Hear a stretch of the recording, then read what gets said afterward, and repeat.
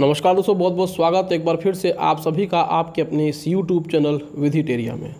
दोस्तों, मैं हूँ एडवोकेट मंजीत त्रिपाठी और दोस्तों, आज के इस वीडियो में हम लोग बात करने वाले हैं कि क्या बैंक राइट ऑफ़ किए गए लोन को माफ़ कर सकता है या फिर राइट ऑफ़ लोन का सेटलमेंट हो सकता है कि नहीं। देखिए, बहुत सारे ऐसे लोग हैं जिनका प्रश्न होता है कि, सर, मेरा लोन राइट ऑफ़ हो गया है और बैंक के रिकवरी एजेंट हमें बहुत परेशान कर रहे हैं। हमें गालियाँ दे रहे हैं, हमारे घर पे आ रहे हैं, हमारे साथ अभद्र व्यवहार कर रहे हैं, बदतमीजी कर रहे हैं। तो क्या हमारा ये लोन सेटल्ड हो सकता है? क्योंकि हमारा तो लोन राइट ऑफ़ हो चुका है, अब ये हमें बहुत ज़्यादा परेशान कर रहे हैं। कुछ लोग ये सोचते हैं कि लोन जब राइट ऑफ़ हो जाता है तो वह बिल्कुल ही माफ़ हो जाता है। बैंक हमें कोई भी परेशानी नहीं करेगा। तो क्या राइट ऑफ़ होने से लोन माफ़ हो जाता है या फिर लोन अगर राइट ऑफ़ है तो उसका सेटलमेंट हो सकता है या नहीं? दो महत्वपूर्ण प्रश्न हैं, लोग इसी में कंफ्यूज होते हैं। तो दोस्तों, सबसे पहले हम लोग बात करते हैं कि अगर आपका लोन राइट ऑफ़ हो गया है और आप ये सोचते हैं कि बैंक अगर कोई फ़ोन नहीं कर रहा है, कोई लेटर नहीं भेज रहा है, कोई नोटिस नहीं भेज रहा है तो क्या आपका लोन माफ़ हो गया है? बैंक उसे भूल गया है। देखिए राइट ऑफ़ का मतलब ये होता है कि बहुत दिनों से जिस लोन की रिकवरी बैंक नहीं कर पाती है, उसको वो लोग राइट ऑफ़ कर देते हैं। इसके बाद उसको एक अलग तरीके से सेक्शन में वो ट्रीट करते हैं। जब लोन आपका राइट ऑफ़ हो जाता है तो फिर बैंक उसको बहुत ही तेज़ी से वसूलने के लिए रिकवरी एजेंट्स आपके घर पे भेजती है। वो किसी न किसी तरीके से उस राइट ऑफ़ किए गए लोन की वसूली करता है। देखिए राइट ऑफ़ लोन अगर हो जाता है बैंक को ऐसा लगता है कि ये मेरा लोन डूब चुका है, अब हमें इसकी मिलने की कोई उम्मीद नहीं है। लेकिन इसकी रिकवरी के लिए वो पूरा का पूरा प्रयास करते हैं, अपना पूरा हाथ पैर मारते हैं।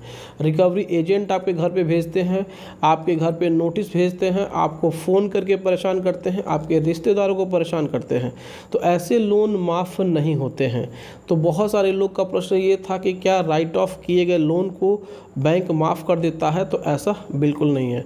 वो एक साल, दो साल, तीन साल के बाद कॉल करके आपको परेशान करेंगे।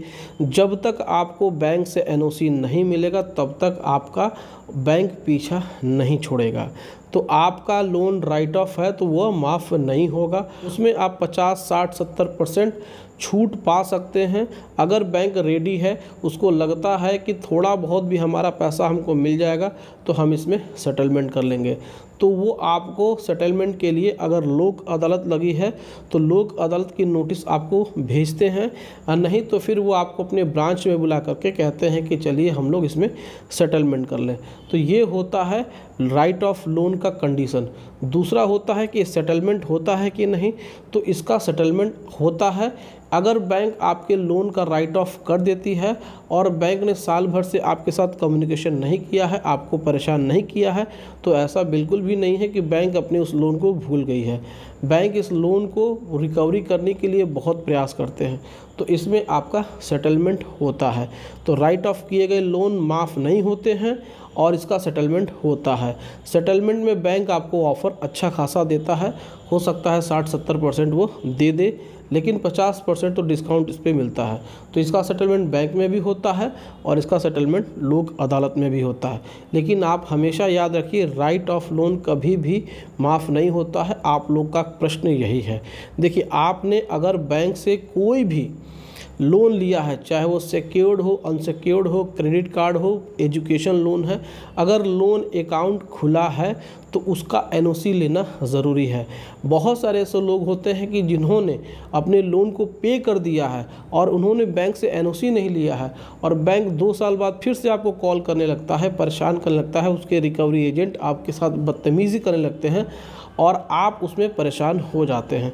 तो ऐसे कंडीशन में भी आपको क्या करना है?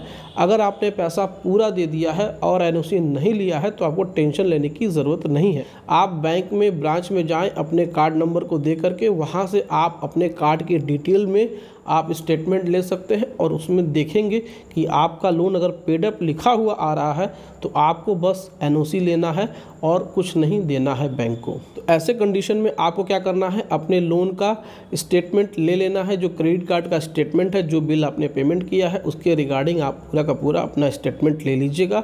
और उसके बाद उसमें अगर लोन क्लोज्ड लिखा हुआ है पेड लिखा हुआ है तो बस आपको बैंक के ब्रांच मैनेजर को एक अप्लीकेशन दे करके एक प्रार्थना पत्र दे करके आपको एनओसी ले लेना है।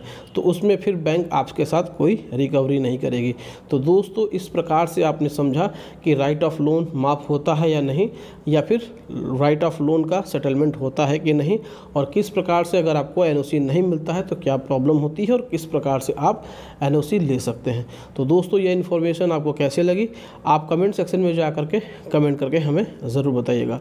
दोस्तों अगर आपने भी किसी बैंक से कोई भी लोन लिया है और बैंक वाले परेशान कर रहे हैं, लीगल नोटिस भेज रहे हैं और आपको उस लीगल नोटिस का जवाब देना है और आपको लीगल एडवाइस की ज़रूरत है तो आप स्क्रीन पे दिए हुए व्हाट्सअप नंबर पे संपर्क करिए और घर बैठे ही अपने लिए लीगल एडवाइस ले सकते हैं। तो दोस्तों, वीडियो अच्छा लगा हो तो वीडियो को एक लाइक ज़रूर कर दीजिएगा, इससे अपने दोस्तों और रिश्तेदारों में भी शेयर कर दीजिएगा और हमारे चैनल को सब्सक्राइब करके हमें सपोर्ट ज़रूर प्रदान करिएगा। दोस्तों, मिलते हैं अगली वीडियो में एक नए टॉपिक के साथ। तब तक आप अपना और अपने पूरे परिवार का ध्यान ज़रूर रखिएगा। थैंक यू सो मच जय हिंद दोस्तों।